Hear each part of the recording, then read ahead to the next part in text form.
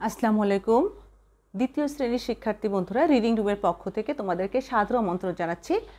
আজকে আমি তোমাদের ভাগ অঙ্ক, ষষ্ঠ অধ্যায়ের আট নম্বর ভিডিওতে আছি এবং তোমাদের এই মুহূর্তে তিয়াত্তর পৃষ্ঠার যে অঙ্কগুলো আছে, এখান থেকে আমি সাত, আট, নয় এই তিনটা অঙ্ক করব। এই তিনটা প্রশ্ন আগে আমি পড়ব দেন আমি অঙ্কগুলো করা শুরু করব। সাত নম্বর অঙ্কটা দেখো, একজন লোক বত্রিশ টাকা দিয়ে কিছু ডিম কিনলো। কত টাকা দিয়ে কিনেছে? বত্রিশ টাকা দিয়ে কিনেছে। যদি একটি ডিমের দাম চার টাকা হয়, তবে এই লোক কয়টি ডিম কিনেছে? তাহলে আমরা দেখলাম যে একটি ডিমের দাম হচ্ছে চার টাকা। অর্থাৎ চার টাকায় পাওয়া যাচ্ছে একটা ডিম। চার টাকায় যদি একটা ডিম পাওয়া যায়, তাহলে বত্রিশ টাকায় কতটা ডিম পাওয়া যাবে সেটা আমরা এই মুহূর্তে বের করব। তাহলে আমরা এখানে প্রথমেই, এখানে আমরা সাত, আট আর নয় নাম্বার অঙ্কটা করব। সাত নাম্বার অঙ্কটা এখন আমি করছি যে চার টাকায় পাওয়া যায়। কয়টা ডিম? একটি ডিম।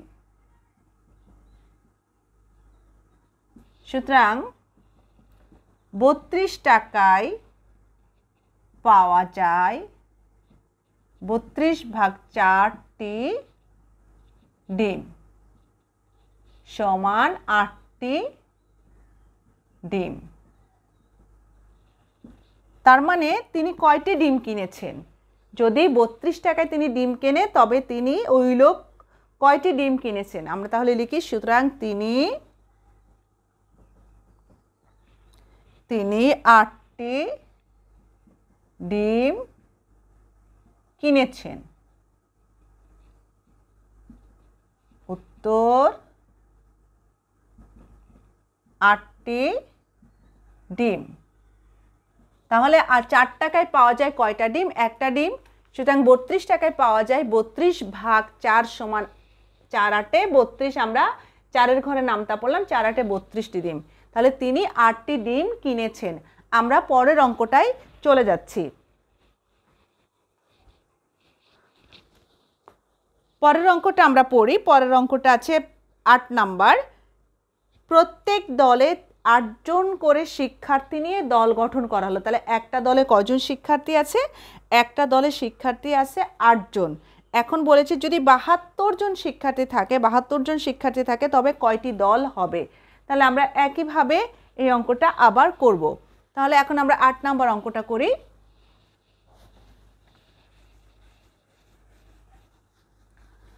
আট নাম্বার অঙ্কটা এখন আমরা করছি আট নাম্বার। আটজন শিক্ষার্থী মিলে হয় কয়টি দল? একটি দল। আটজন শিক্ষার্থী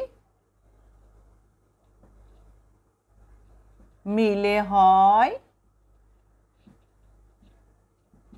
একটি দল। সুতরাং বাহাত্তর জন শিক্ষার্থী মিলে কয়টি দল হবে? বাহাত্তর ভাগ আটটি দল সমান আট নং বাহাত্তর, আট নং বাহাত্তর, নটি দল। সুতরাং কয়টি দল হবে? নয়টি দল হবে। উত্তর নয়টি দল। দেখো দুইটা অঙ্ক আমরা শেষ করলাম যে একটি দলে যদি তোমার আটজন শিক্ষার্থী থাকে তবে বাহাত্তর জন শিক্ষার্থী মিলে কতটি দল হবে? আমরা দেখলাম যে বাহাত্তর জন শিক্ষার্থী মিলে নয়টি দল হবে। এই পর্বের আমাদের শেষ অঙ্ক। একজন শিক্ষার্থী চুয়ান্ন পৃষ্ঠার একটি বই পড়ছে। যদি সে একদিনে ছয় পৃষ্ঠা পড়ে, তবে এই বই পড়ে শেষ করতে তার কত দিন লাগবে? আমরা এখন নয় নাম্বার অঙ্কটা করব। তাহলে একজন শিক্ষার্থী একটি বইয়ের একদিনে পড়ে কয় পৃষ্ঠা? ছয় পৃষ্ঠা। চলে আসি আমরা এবার শেষ অঙ্ক, যেটা নয় নাম্বার আমরা করব। লেখো, একজন শিক্ষার্থী একজন শিক্ষার্থী একটি বইয়ের, আমরা এটা উপরে লিখে নিব। যদি কোনো অঙ্ক এরকম লেখার সুযোগ থাকে, আমরা অবশ্যই লিখে নিব। আমরা কমা দিতে পারি, অথবা আমরা এরকম দাগ দিতে পারি যে কোনো একটা তুমি দিতে পারো। ছয় পৃষ্ঠা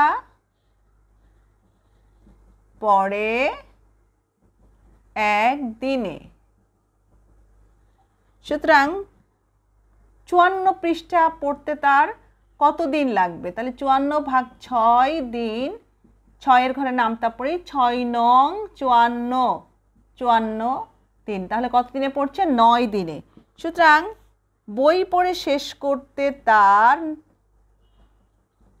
বই পড়ে শেষ করতে তার নয় দিন লাগবে। প্রশ্নপত্রে যেভাবে চাইবে সেভাবে আমরা লিখব। উত্তর নয় দিন। ঠিক আছে? তাহলে একজন শিক্ষার্থী একটি বইয়ের ছয় পৃষ্ঠা পড়ে একদিনে সুতরাং চুয়ান্ন পৃষ্ঠা পড়ে, চুয়ান্ন ভাগ ছয় সমান নয় দিনে, সুতরাং বই পড়ে শেষ করতে তার নয় দিন লাগবে, উত্তর নয় দিন। তাহলে আমরা আমাদের বাহাত তিয়াত্তর পৃষ্ঠার অঙ্ক যেগুলো ছিল না প্রথম যে তিনটা অঙ্ক ছিল সেটা শেষ করলাম। এই ভিডিওটার মাধ্যমে তোমরা প্রশ্নগুলো ভালো করে পড়বে তারপরে ভিডিওটা তো অবশ্যই দেখবে এবং ভিডিও দেখার সময় আমি তো বলেই নিয়েছি যে বইটা সামনে রাখবে অঙ্কের প্রশ্নগুলো, যেহেতু এখানে প্রশ্নগুলো লেখা থাকে না, আমি মুখে একবার বলে নিই, তোমরা যখন অঙ্ক করবে, বইয়ের পৃষ্ঠায় অঙ্কগুলো প্রত্যেকটা লাইনের সঙ্গে মিলিয়ে তারপরে কিন্তু শিখে ফেলবে। হ্যাঁ তাহলে এই তিনটা অঙ্ক তাহলে কি করবে তোমরা? তোমরা একবার প্রথমে বুঝে নিয়ে দেন তোমরা কিন্তু এই তিনটা অঙ্কই আবার খাতায় প্র্যাকটিস করবে, খাতায় ভালোভাবে তুলে ফেলবে নোট খাতায়ও তুলে ফেলবে কিন্তু। তাহলে পরীক্ষার সময় রিভিশন করতে তোমাদের সুবিধা হবে। তাহলে শিক্ষার্থী বন্ধুরা তোমরা ভালো থাকো তোমাদের সবার প্রতি আমার শুভকামনা রইল। আল্লাহ হাফেজ।